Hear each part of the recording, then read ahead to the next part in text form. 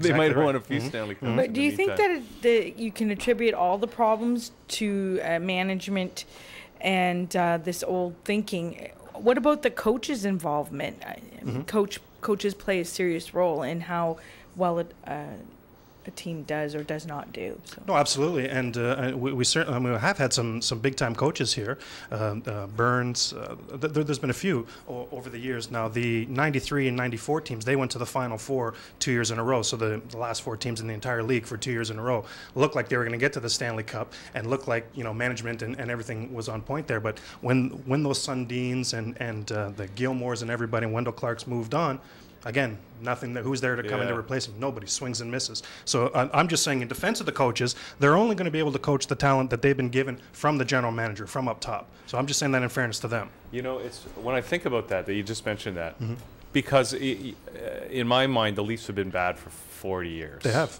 right? But to make the Final 4 that's a stunning achievement all on its own. Mm-hmm. It was back-to-back years. Back-to-back years. Mm-hmm. when you think about how many teams there are now, and when you think about the playoffs and what a long, grueling process, Oh. Especially the hockey playoffs. the Stanley Cup hockey playoffs absolutely. are to make the Final Yes. Mm-hmm. Four even is amazing. I mean, whoever wins that Stanley Cup, man, has earned it so much. I c- I couldn't agree more. There's, um, I mean, you can make arguments for any any sport, and, and the playoff system is going to be grueling, absolutely. But I mean, there's nobody, even even a hockey hater, is not going to be able to look at the hockey playoffs and really uh, poke holes in it. It is.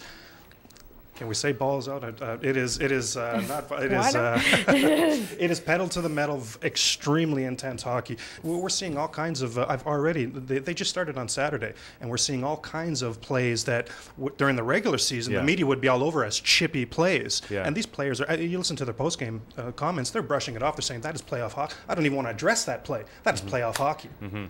Old time hockey. Mm-hmm. so, so Craig, what do you think um, some of the things uh, that could be done to make sure that um, we had attract better players to the Maple Leafs, like uh, whether it's uh, you know going out and and uh, and uh, scouting top ta- talent from Junior B. Mm-hmm. What do you think we could be done to keep some maybe some more Canadian talent on the Canadian team so that we could win? Well, I mean, unfortunately speaking, Okay. going forward, really the the majority of the talent in the last couple of years, the young talent anyway, has been has not been Canadian talent.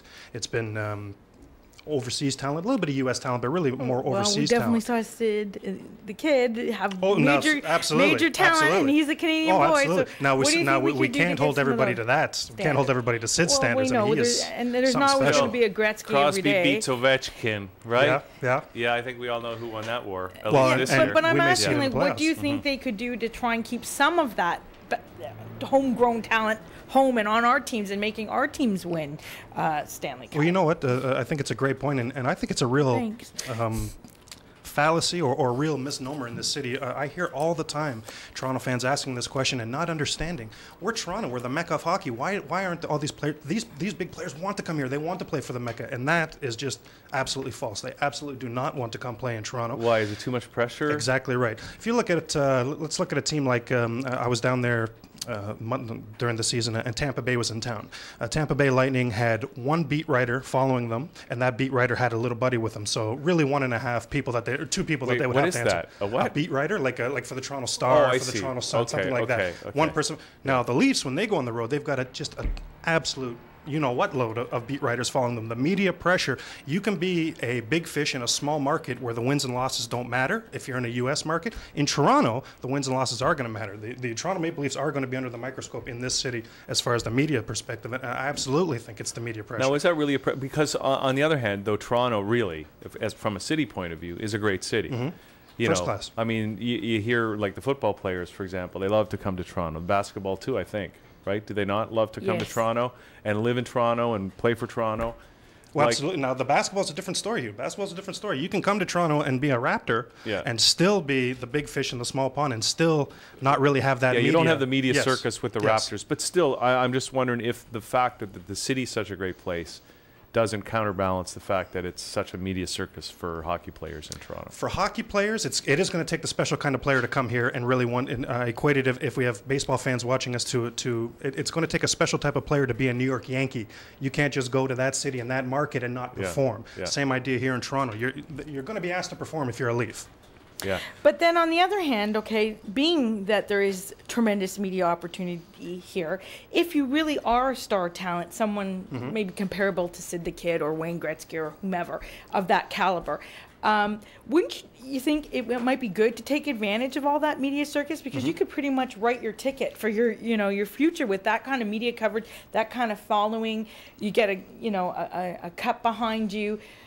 You could go anywhere. You could do anything. You you, You could can even open up a donut shop. yeah, and and the endorsements would be phenomenal. Well, absolutely, and, and that is the case being made for people who uh, don't want to see Chris Bosh leave, or don't think he would leave, or wonder why he would leave, because he can be he, he can command this country. Never mind just this market, this country, or he can go be a very small fish in, in a very regular pond in the United States w- with a team like that. So it, it- it's definitely a question, but that's why I say it is going to take a special type of person to want to balance that out, and, and that's the misnomer I find anyway with the Toronto fans in the city is there's such a belief that the star players absolutely want to come here, Yeah. and, and I just don't believe that that's the case. Well, plus, you know, part of it could be, you know, because a lot of, you know, I still, I don't know what the percentage of, of players in the NHL is. Probably what, 50% Canadian still, do you think?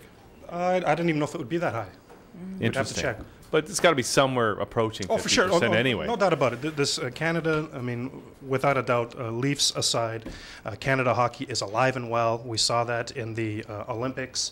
Uh, the only part of the Olympics that I personally paid attention to was the hockey. It, it Yeah. was It was amazing. Yeah, it was absolutely. Yeah, totally yeah, amazing. I mean, look at the patriotism we saw too when we saw time. Canada win, and you know it really united our country.